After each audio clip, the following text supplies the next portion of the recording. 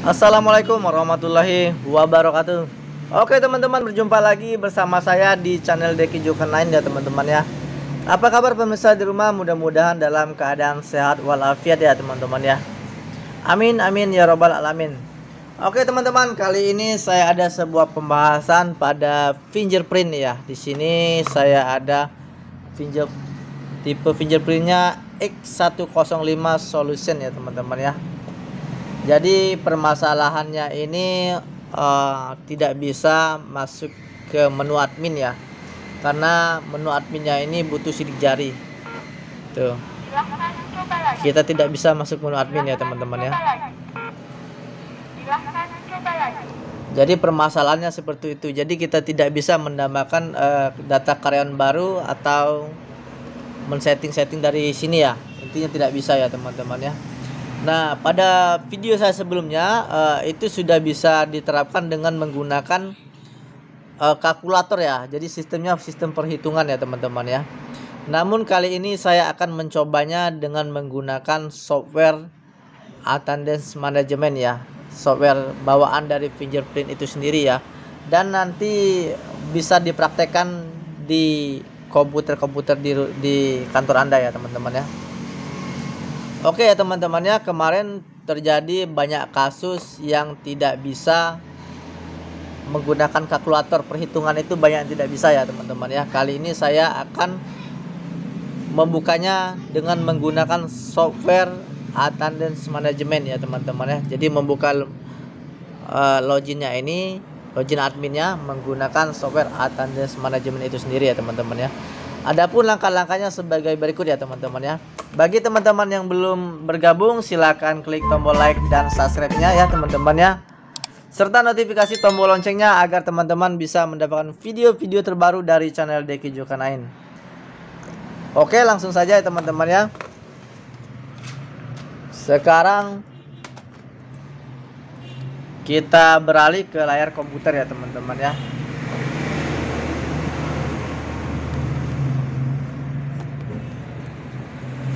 Oke, seperti ini. Oke ya teman-teman cukup jelas ya. Kemudian di sini saya setting LAN terlebih dahulu ya. Untuk mengkoneksikan uh, fingerprint ini ke komputer ya teman-teman ya.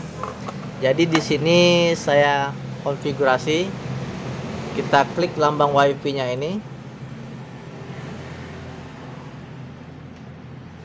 Kemudian network and setting. Atau kalau teman-teman bingung dari sini aja.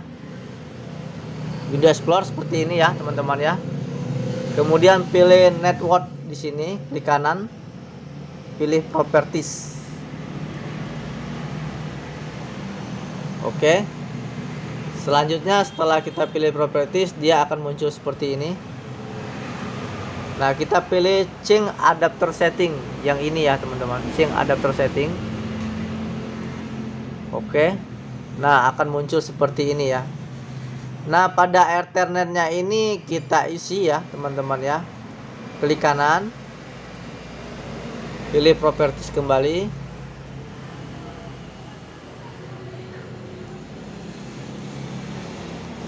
Dan pilih internet protokol versi 4 ya yang ini. Internet versi protokol 4 klik dua kali. Nah di sini isi IP addressnya 192.168.100 ya teman-teman ya. Kemudian yang bawahnya 192.168.11 ya teman-teman ya. Apabila sudah di sini kita pilih oke OK. pilih oke OK ya dan selanjutnya di sini masih tanda silang ya teman-teman ya. Nah untuk tanda silang ini kita colokkan uh, kabel LAN card. Di sini saya sudah menyediakan kabel LAN card ya teman-teman ya. Nah kabel LAN card ini akan kita colokkan ke fingerprintnya teman-teman ya. Seperti ini. Jadi di belakang fingerprint ini terdapat RJ45 port LAN ya. Jadi kita colokkan ke sini ya teman-teman ya. Nah di sini lambang silang ethernetnya hilang ya teman-teman artinya uh, fingerprint ini sudah terhubung dengan dengan komputernya ya teman-teman ya Nah, selanjutnya kita silang saja kalau sudah terhubung ya. Seperti ini. Kemudian di sini saya perdekat lagi ya. Uh, logonya software attendance management seperti ini. Klik attendance management seperti ini ya. Kemudian pilih yes. Oke. Muncul seperti ini. Kemudian pilih oke okay ya teman-teman ya. Nah, tampilan software attendance management itu seperti ini ya, teman-teman ya. Kemudian di sini saya akan mengkoneksikannya terlebih dahulu. Pilih yang Ethernet karena kita koneksi yang menggunakan LAN, jadi saya pilih Ethernet ya, teman-teman ya. Kemudian di sini saya pilih connect. Nah, ini ada option connect. Atau bisa klik kanan juga bisa pilih connect, sama aja ya. Oke, setelah saya pilih connect, tunggu di sini di sebelah kanan ini ada bacaan sukses ya. Nah, kalau ada sudah ada bacaan sukses seperti ini, artinya fingerprintnya sudah terkoneksi ke aplikasinya ya teman-teman ya. Nah, kita sebelum kita meresetnya kita coba cek dulu ya. Di sini saya tekan lama-lama, izin admin masih terkunci ya teman-teman ya. Oke, di sini cukup mudah kita pilih AC Manage ya teman-teman ya. Nah, kita pilih yang ini ya. AC Manage. Kemudian di sini ada bacaan advanced function. Nah, di sini ada clear admin privileges ya, teman-teman ya. Seperti ini. Ah, clear admin privileges ya. Jadi kita klik yang bagian klik admin privileges ini ya, teman-teman ya satu kali sampai operasi successful ya dan sekarang kita lihat pada fingerprintnya kita tekan nah dia sudah masuk ke menu lagi ya teman-teman ya. Jadi dia menghapus password. Loginnya dihapus. Tuh.